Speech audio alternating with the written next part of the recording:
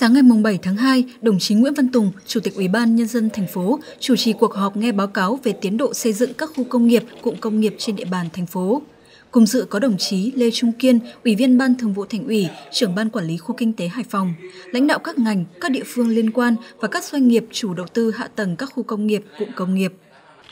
Phát biểu chỉ đạo tại cuộc làm việc, đồng chí Nguyễn Văn Tùng, Chủ tịch Ủy ban Nhân dân thành phố nhấn mạnh, Phát triển các khu công nghiệp, cụm công nghiệp có ý nghĩa rất quan trọng đối với thành phố Hải Phòng. Những năm qua, thành phố có nhiều chủ trương, chính sách tạo điều kiện thuận lợi để thực hiện. Tuy nhiên, so với yêu cầu của thành phố và cam kết của chủ đầu tư, phần lớn đều chậm tiến độ. Chủ tịch Ủy ban Nhân dân thành phố yêu cầu khẩn trương hoàn tất các thủ tục, tháo gỡ khó khăn vướng mắc để bảo đảm phát triển các khu công nghiệp, cụm công nghiệp theo kế hoạch. Cụ thể, đối với khu công nghiệp Tiên Thanh, Chủ tịch Ủy ban Nhân dân thành phố Nguyễn Văn Tùng chưa hài lòng về tiến độ thực hiện và yêu cầu chủ đầu tư nhanh chóng ứng 100 tỷ đồng cho huyện Tiên Lãng phục vụ giải phóng mặt bằng, đồng thời hoàn tất các thủ tục để khởi công vào dịp 13 tháng 5 năm 2023. Huyện Tiên Lãng khẩn trương hoàn thành giải phóng mặt bằng phục vụ xây dựng khu công nghiệp Tiên Thanh. Đối với khu công nghiệp, dịch vụ và khu phi thuế quan Xuân Cầu, Chủ tịch Ủy ban nhân dân thành phố chỉ đạo khởi công ngay trong tháng 2, thời gian dự kiến khoảng từ ngày 15 đến 20 tháng 2 giao Sở Tài nguyên và Môi trường hoàn tất các thủ tục giao đất, giao chủ đầu tư san lấp mặt bằng để khởi công.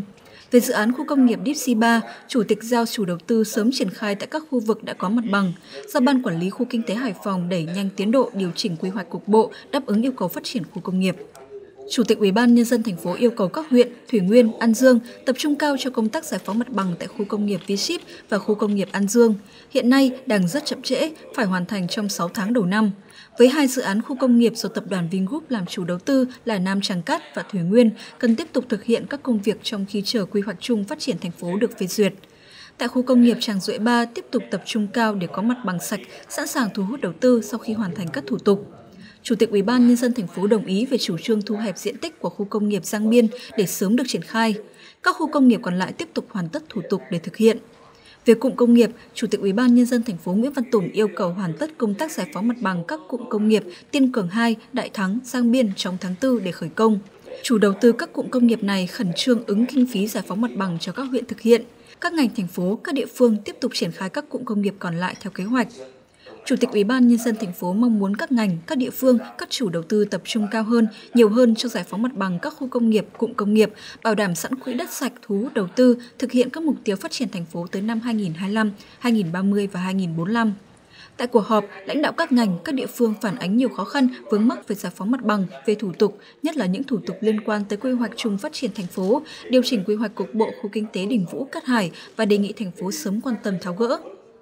Theo Ban Quản lý Khu Kinh tế Hải Phòng và chủ đầu tư các khu công nghiệp, cụm công nghiệp, hiện còn nhiều khó khăn vướng mắc trong triển khai thực hiện. Cụ thể, các khu công nghiệp v Hải Phòng, Deep 3 An Dương còn chậm trễ trong công tác giải phóng mặt bằng. Khu công nghiệp Tiên Thanh và khu công nghiệp Xuân Cầu đang hoàn tất các thủ tục để chuẩn bị khởi công. Bốn khu công nghiệp gồm Nam Tràng Cát, Thủy Nguyên, Tràng Duệ 3, Giang Biên 2 tuy đã nộp hồ sơ tại Bộ Kế hoạch và Đầu tư nhưng còn nhiều vướng mắc liên quan tới quy hoạch và các thủ tục khác. Ngoài ra còn 8 khu công nghiệp khác đang nghiên cứu triển khai và tiến độ cũng chưa đạt yêu cầu. Đối với các cụm công nghiệp, hiện mới có 3 cụm đang triển khai gồm cụm công nghiệp Tiên Cường 2 và cụm công nghiệp Đại Thắng thuộc huyện Tiến Lãng, cụm công nghiệp Giang Biên thuộc huyện Vĩnh Bảo. Có 3 cụm công nghiệp khác đã có quyết định thành lập và hai cụm công nghiệp đang được bổ sung vào quy hoạch phát triển cụm công nghiệp thành phố. Nhìn chung, các cụm công nghiệp dù đang triển khai hoặc đã có quyết định thành lập hay đang nghiên cứu đều có nhiều khó khăn vướng mắc, tiến độ chưa đạt yêu cầu.